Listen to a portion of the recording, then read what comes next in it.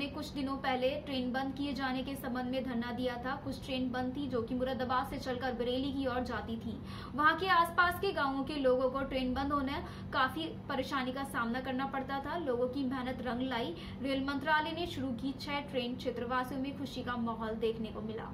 BJP के booth अध्यक्ष master Rajendra Singh व बीजेपी के लोकसभा सांसद सतपाल सैनी ने ट्रेन शुरू करने के संबंध में रेल मंत्री से गुहार लगाई थी।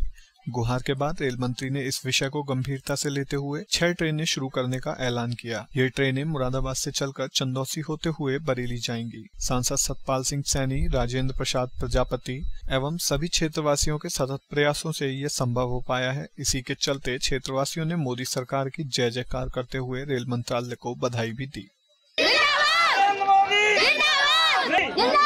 योगी जी योगी जी सतपाल सैनी सतपाल सैनी भारतीय जनता पार्टी सतपाल सैनी साथ ही गाड़ियों के चलने पर स्टेशन मास्टर को भी मिठाई खिलाकर आभार व्यक्त किया। हाँ हमारी जो जगान स्टेशन से छः ट्रेन चलती थी। वो ट्रेनें एक ट्रेन तो हमारे चार साल से बंद थी और जो आगरा कैंट बरेली ट्रेन थी, वो हमारी एक साल से बंद थी और बाकी ट्रेनें हमारी छः महीने बंद थी। और मजदूर, किसान, स्टूडेंट सभी परेशान थे। सबने हमारे साथ में यहाँ पर धरना किया, प्रदर्शन किया और हमने हर बार जनता सहयोग दिया और आज उसकी परिप्रेक्ष्य में साथ सतपाल सेन जो हमारे सांसद महोदय हैं, उन्होंने हमारा सहयोग देते हुए दो बार रेल मंत्रालय से मिले।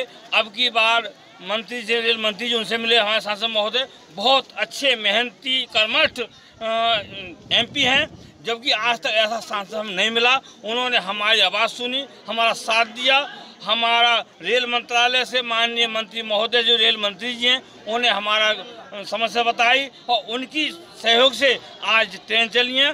जनता बहुत खुश है, जनता की मुँह मांगी मुराद बन गई। इसलिए हम आज जनता खुशी के इजहार करने के लिए यहाँ स्टेशन मास्टर के लिए मेरा खिलाफ सम्मान किया हमने।